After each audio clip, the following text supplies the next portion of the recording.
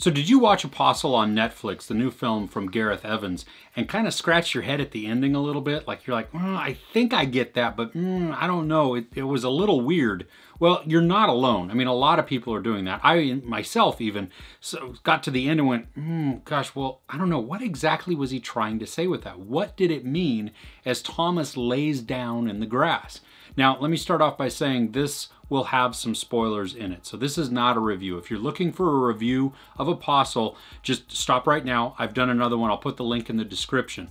This, though, is just about the ending. So if you haven't seen it or you don't want spoilers, stop watching now. Sound good? All right. One of the points that permeates the story is that it's kind of an allegory about the environment or about Earth. You have the original three that come to the island. Now they're escaping prison and, you know, they're on the run, but they get to the island and they encounter the goddess of the island. Once they realize what she does and that she actually rejuvenates the island and it is her that is bringing all of this growth and all of this prosperity to the land, then they try and exploit this.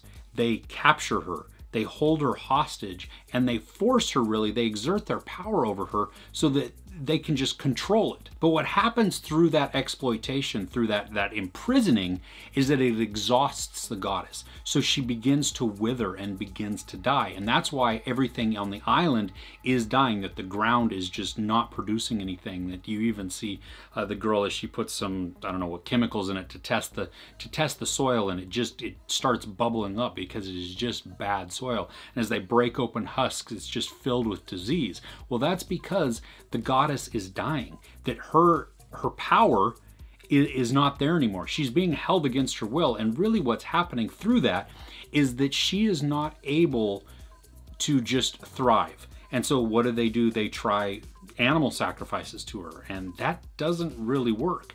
And then they try the collection of blood sacrifices from humans, and that kind of works a little bit, but it's not a total solution because you see, even as Michael Sheen cuts his hand and puts it on there and she sucks on it and it's just disgusting, you know, things start to grow a little bit, but soon they quickly wither again. And so she she needs something more. And I think that's where the grinder then comes in because now it's like try some of these, you know, human sacrifices. But again, it's not totally what she needs because it's really it's her being hampered because she is imprisoned. And so everything is starting to just die. When Thomas frees the goddess and kills her by setting fire to her house and thus even parts of the island, you see that he is truly, truly at that point setting her free from her bondage. And then she calls him son. And I think that's a foreshadowing of that he is going to be her successor.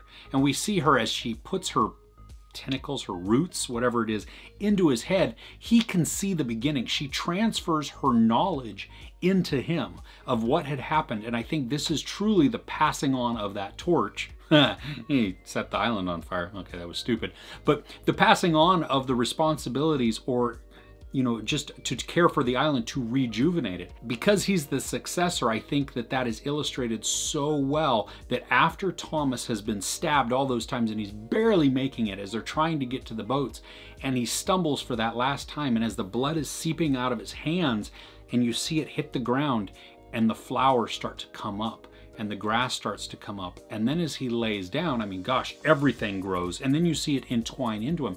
And that was how the goddess was when she was imprisoned in that house, that you know, I mean, it was it was all growing into her. She was part of the island. She was feeding the island. She was the one that was sustaining everything and that everything was coming from it. Has Thomas become the god of the island? I mean, we see this recognition of what is happening that Thomas has, and he looks to Michael Sheen's character Malcolm and he gives a slight nod. It's like a knowing nod. Michael Sheen reciprocates that with another nod that he knows. And so he understands that okay, this is, I, I, guess he understands what happened, but he understands that, that Thomas is the one who is now rejuvenating the island and bringing life back to it.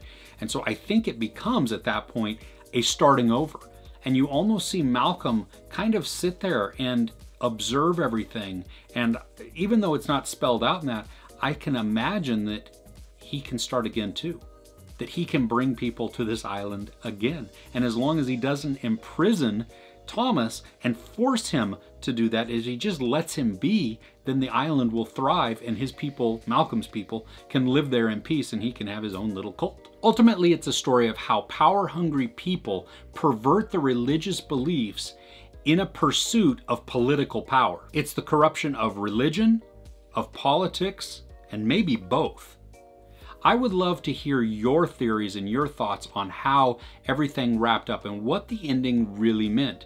Did Thomas truly become the new god of the island? Was he just a new the new god?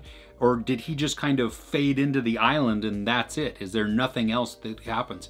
Let me know what you think below. I'd love to hear all of your comments. Let's have a discussion. If you enjoyed this review, please give it a like. Also, don't forget to share and subscribe. I'm Chris. This is Movies and Munchies. Thanks for couching with me.